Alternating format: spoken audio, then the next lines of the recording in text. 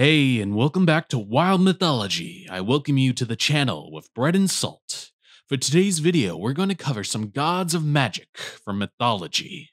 But before we get to that, don't forget to join this month's mythology giveaway for Neil Gaiman's book on Norse mythology, an awesome 300 page book filled with the most famous myths, gods, and creatures from Norse mythology. All you have to do to join our giveaway is subscribe and leave a comment on this video. Plus, somewhere in this video is our mythology scavenger question. Answer the question correctly in the comments and you'll get an extra ballot for a chance to win the giveaway. So keep an eye out for that. Now, I think it's time to get to the gods of magic. Number 1. Hecate. Being one of the most famous deities of all magic and witchcraft, Hecate was the goddess of crossroads, boundaries, ghosts, the moon, necromancy, witchcraft, and magic in Greek mythology. She was usually depicted as a beautiful goddess holding a pair of torches, a key, or some snakes. She was also known as the triple form goddess and was depicted as such, with either two faces growing out of each side of her head or even full bodies connected to her sides. She was also usually accompanied by dogs, which was one of her sacred animals. In mythology, Hecate was the only child of Perses, the titan of destruction, and Asteria, the titaness of shooting stars. During the war against the Titans, Hecate fought on the side of the gods and was helpful in their victory. She also battled in the war against the giants and defeated the giant Cletus by lighting him on fire. Many years after the wars, Hecate was in her cave when she suddenly heard a loud scream. Curious, Hecate went to investigate, but in the end found nothing. Nine days later, a saddened Demeter came close to Hecate's cave and yelled out for her daughter Persephone. Realizing that she heard Persephone's scream, Hecate told Demeter what she heard. The two then traveled together to the palace of the sun titan Helios. There, they asked the all seeing Sun Titan what had happened to Persephone, and he told them that Hades had kidnapped her to the underworld. Eventually, when Persephone returned from the underworld, upon seeing her, Hecate hugged the young goddess. In return for helping her mother, Persephone invited Hecate to live in the underworld as her minister and companion. After helping Persephone, Zeus, Poseidon, and Hades offered her a sliver of their power so that she could be the watcher to the boundaries of their realms, allowing Hecate to know when anyone journeyed into the underworld, the sea, or the high skies. Later on in myth, she would take Hecuba, the queen of Troy, as a servant in the form of a black dog after the queen tried to kill herself during the fall of Troy. She would also teach magic and potion making to the enchantress Circe and the witch Medea. Number 2. Isis. In Egyptian mythology, many of the gods shared the domain of magic, but one of the most important was Isis, the goddess of motherhood, rebirth, healing, wisdom, women, and magic.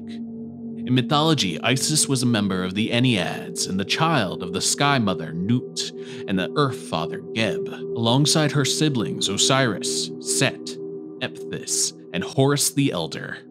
After the Sky Mother and Earth Father were separated from each other, Geb passed on his crown to his eldest son Osiris, making him the new king of Egypt.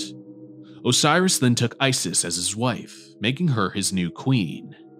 Many years later, Osiris's younger brother Set, the god of chaos, rebelled against him, resulting in Set killing Osiris and spreading his cut up pieces around Egypt. Fearing that she would be next, Isis fled and began to search for Osiris's body parts. With the help of Thoth, the god of wisdom and magic, and Anubis, the god of death, Isis found all of her husband's pieces and reassembled them. She then resurrected Osiris, making him the first mummy, and together the two conceived a child. Unfortunately, Osiris was unable to stay in the world of the living and so had to make his new home in the Duat, the Egyptian underworld.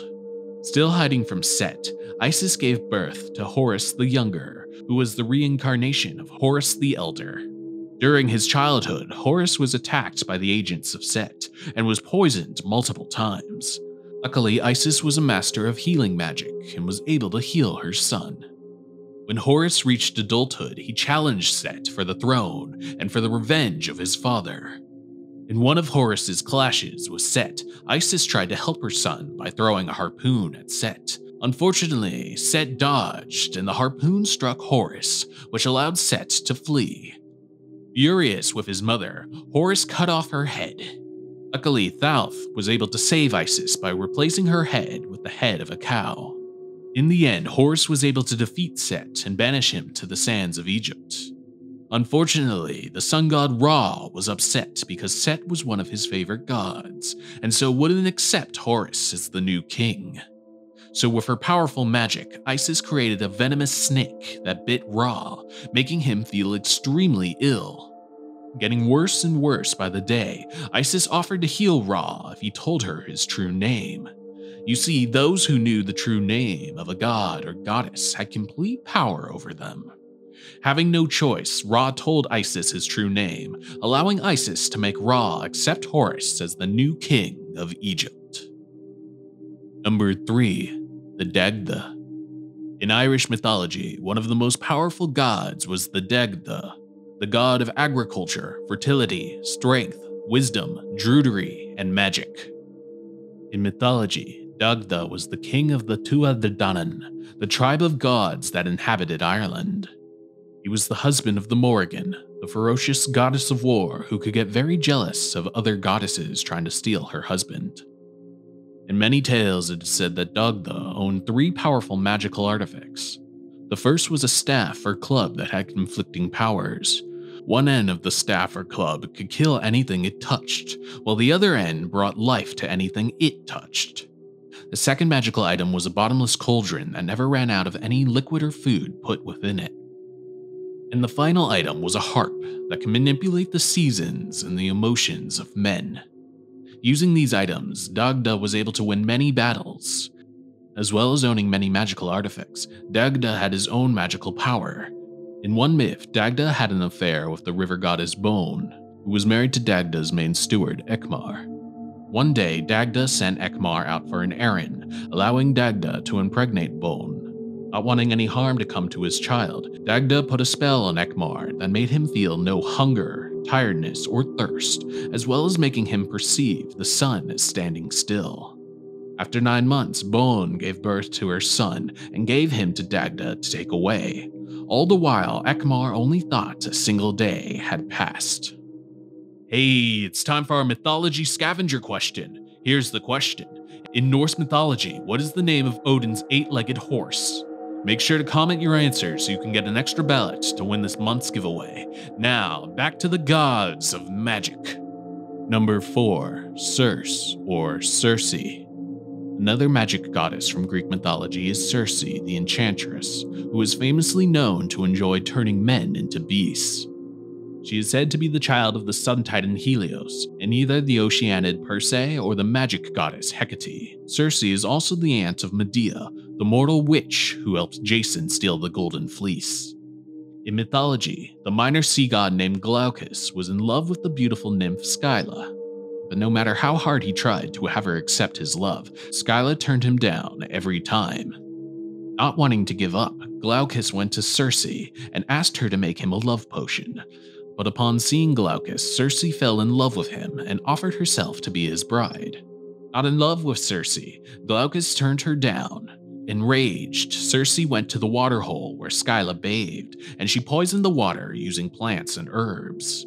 When Scylla got into the water, she began to scream out in pain as her body transformed. Six dog heads grew out of her waist. Five extra long necks with heads attached to them grew out of her neck, and her legs changed into 12 tentacles. No longer a beautiful maiden, Scylla was now the monster that guarded the Strait of Messalina alongside the monster Charybdis. Another myth Circe was involved in took place during the gods' war with the giants. One of the giants fled from the war and happened upon Circe's island. Seeing an easy target, the giant was about to attack Circe when her father Helios appeared. Helios killed the giant and splattered his blood onto the earth, and from the giant's blood grew the herb moly, an important plant that would be used against Circe in the future. Circe's most famous appearance in mythology is in the Odyssey, when Odysseus and his men land on Circe's island Aeaea. Upon reaching the island, Odysseus sends a group of men to scout out the island. When the men find Circe's home, the enchantress invites them to dine with her. The men agree, but as they go to sit down at the table, Odysseus' second in command, Eurylochus, notices tame lions and wolves, as well as a large group of pigs surrounding Circe's home. Suspicious, Eurylochus hides and observes his men, who, after eating Circe's food, turned into pigs. You see, Circe added one of her tricky potions to the food. Alarmed, Eurylochus runs back to Odysseus and tells him what happened. Wanting to free his men, Odysseus goes to face off against Circe, but is suddenly stopped by Hermes. Hermes gives Odysseus some of the moly herb and tells him that those who ingest the herb are unaffected by Circe's magic. Using the herb, Odysseus is able to trick Circe and free his men. Odysseus then stays on the island for a year and even fathers some children with Circe. Eventually, when it's time for Odysseus to leave, Circe gives him some advice on how to get back home. And there it is, I give you the gods of magic. I hope you enjoyed the video. If you would like us to cover something from mythology, folklore, or legend, make sure to leave a comment and we'll add it to our video list. Well, that's all for now. Until next time on Wild Mythology.